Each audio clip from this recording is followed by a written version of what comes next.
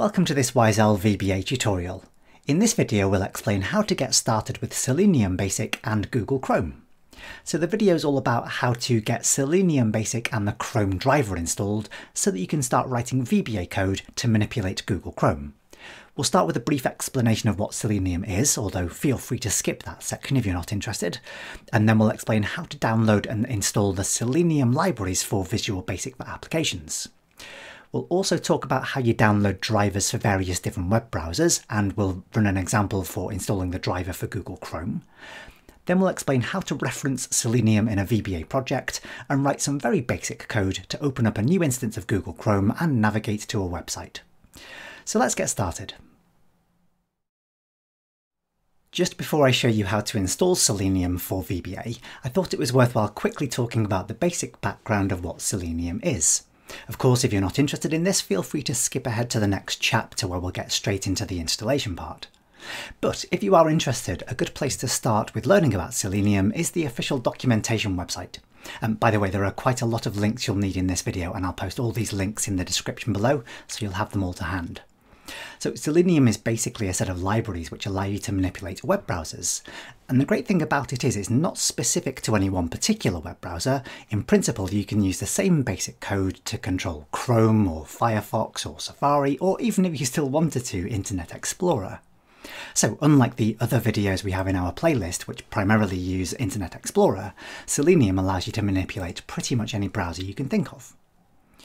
So this website contains lots of useful information for working with Selenium, including an installation guide and a general guidelines page, and even a worst practices page. Um, I'd recommend giving that page a read through, by the way, even if you just want to jump headfirst into playing around with Selenium. Read the worst practices page, it could potentially save you some long-term pain. One thing you'll notice as you work through this website, however, is that it notably lacks any reference whatsoever to VBA, so there are lots of code samples littered around, for a variety of languages, but no mention of VBA whatsoever. And that's simply because Selenium was developed without VBA in mind.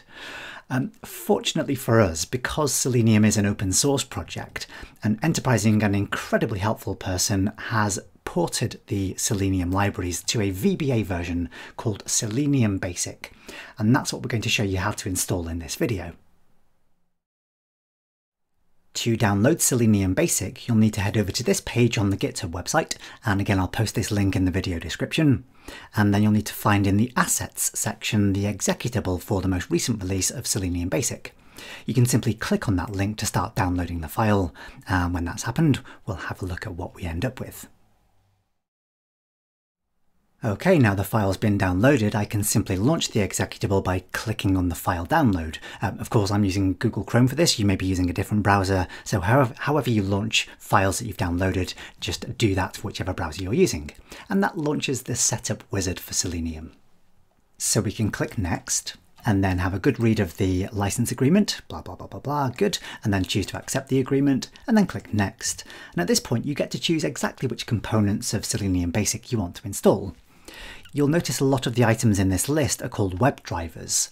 So in order for Selenium to communicate with a particular web browser, it needs a driver for that browser.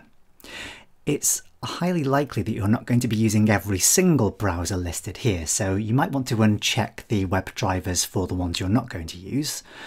And it's also quite likely that the WebDriver that's included in the default installation isn't the most up-to-date one, even if it is for the browser you want to use.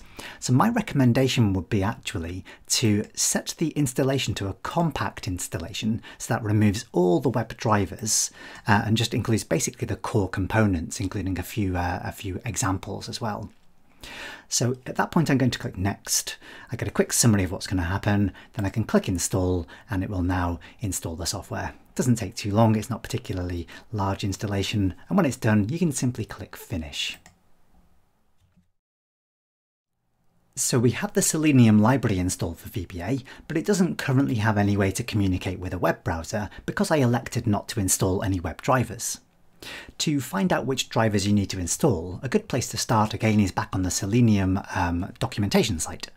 In here you'll find a link on the left hand side for getting started with WebDriver, and then in there will be a section for browsers, and then you'll get a list of links for the main web browsers you're likely to use. For this example, I'm going to install the driver for Google Chrome. So I'm going to open up the, um, the link to the Chromium or Chrome driver page. I'll need to know which version of the Chrome driver to install. Um, if I want to see all of the available versions, I can hit the downloads link here. Um, to find out which version of Chrome I'm using, a good place to do that is from the, the extra options menu at the top right hand corner of Google Chrome. From there I can choose help and then I can choose about Google Chrome and on the page that appears it will show me exactly which version I'm currently using. So the, uh, the main number there is 87. So I can refer back to on the downloads page the main version for Chrome 87 and then I can simply click the link next to that one to start downloading it. In fact, I need to find the correct driver first. So I'm in a Windows environment, so I'm going to download the driver, Chrome driver for version 87 uh, and the Win32 version. So I can click on that to start downloading that file. Now that I've downloaded the driver, I'll need to extract the file and copy it to the relevant location. To do that, I'm going to click on the little up arrow on my file download and choose Show in Folder. I can then right click on my Chrome driver zip file and choose to extract it. And I'll choose to show the extracted files when completed. So I'll click extract and then I'll get a, a single file called chromedriver.exe. I don't need to launch that. All I need to do is copy it to the correct location. So I'm just going to copy that file with Control C um, the location you need to copy it to is the installation folder for Selenium. Now, in the little install wizard, you didn't get a choice as to where that was installed, and there are a couple of different possibilities. So one possibility is it was installed to the program files folder in the root of your C drive, um, but that's not the case for me here. Another option is it could have been installed to your local folder in the app data of the current user. And that's the case for my particular example. So in my user's username app data local folder, I'll find a folder for Selenium Basic, and there it is. So I can double click to open up that folder, and then I simply need to paste in the Chrome driver file. I'm going to do that by pressing Ctrl and V, and now it's in the correct location.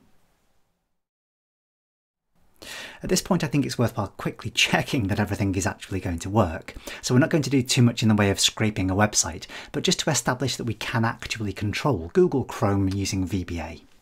I have opened up a blank Excel workbook and I'm going to head to the developer tab and then open up the Visual Basic editor. And then in here, I'm going to set a reference to the Selenium library. To do that, I can head to the tools menu and choose references and then in my list, I can scroll down to find selenium, if I can remember my alphabet. So I will find the selenium type library listed there. I can simply check the box next to that and then click OK. Now that I've referenced the Selenium library, I can get a bit of basic help on it using the object browser. So I can open the object browser either by clicking on the object browser button here on the toolbar, or heading to the view menu and choosing object browser, or just by pressing F2. From the drop-down list at the top where it says all libraries, I can select the Selenium library to filter the list, and then I'll see a list of all of the classes defined in this library. I can select a class, so for example I'll select the Chrome driver class, and then in the list on the right hand side I'll see all the methods and properties of that class. And although the help is quite basic, it's useful to click on a method or a property to get a quick idea as to what it does. So for example, if I click on the get method down here, I'll see a brief description of to what the get method does. So it loads a new web page and tells me the parameter list, whether it's required or optional. So it's, it's basic, but still kind of helpful to get a brief feel for how the classes are set up. But at this point, I'm just going to close down the object browser and then we'll insert a new module into our project before we write some code to actually manipulate Chrome. So I'm going to right click on the project, choose insert and then choose module. So let's write a basic subroutine to test Selenium. Um, for want of a better name, I'll call mine test Selenium. If you can think of a better name, please feel free to use it. Um, now there are many ways to do what we're about to do and we'll go into more detail in later videos in the series, but just for the absolute basics, I'd like to declare a variable which can hold a reference to a Chrome web browser. So I'm going to call this, I'll call it my browser as selenium.chrome driver. Very much not the only way to do this, but as I say, we'll explain more detail about exactly how to make this work in later videos. I then want to set a reference to a new instance of the Chrome driver. So I'm going to say set my browser equals new selenium.chrome browser. Sorry, beg pardon, Chrome driver. And then I simply want to start it. So I'm going to say my browser dot start. Okay, having done that, I'm just going to quickly run this subroutine and you'll see that I get a brief flash of the Chrome browser popping up on my screen and then it immediately disappears. Um, when the my browser variable goes out of scope, so essentially, because this because this variable is defined in this subroutine, when the subroutine ends, the variable becomes out of scope. It destroys any instance of the browser that we've created. A fairly simple way to solve that problem is to declare this variable at the level of the module. So if I just move my variable declaration up to just below the option explicit statement, but before my subroutine um, begins, I can leave it declared with the dim keyword. It's more conventional to use the private or public keywords when you declare variables at the top of a module. But now that I've done this, if I run my subroutine again, it will open up Google Chrome, and we'll leave it sitting there on screen even when the code is finished. So I'm actually going to manually close this down because it's not much use when you don't actually navigate to a web page. To navigate to a web page, again there are several different ways to do this, but as a very basic example, I'm going to use the get method on the browser that I've just started. So I can say my browser, if I can type in my browser, there we go, dot get, and then a space followed by the URL that I want to navigate to. So I can pass this in as a string.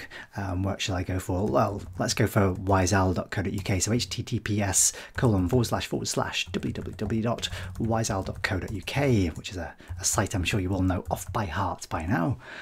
And then if I were to execute this subroutine again, I'll find that Chrome opens up and then it navigates to the homepage for the Wise Owl website. Perfect. I'll just manually close that one down.